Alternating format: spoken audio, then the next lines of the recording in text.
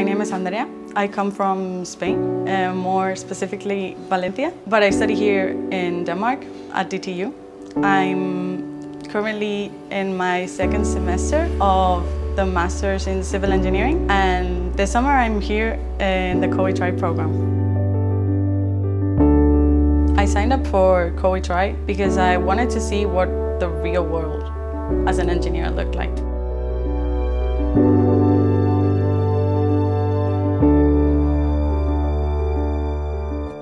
I'm in the Department of International Bridges.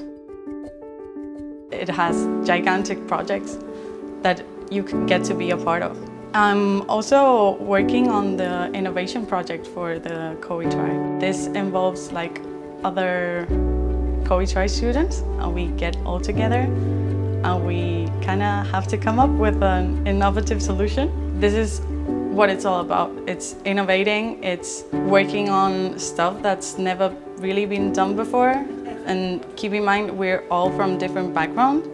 So we all have our specialties and it's really fun to see how everything comes together and how well we work together.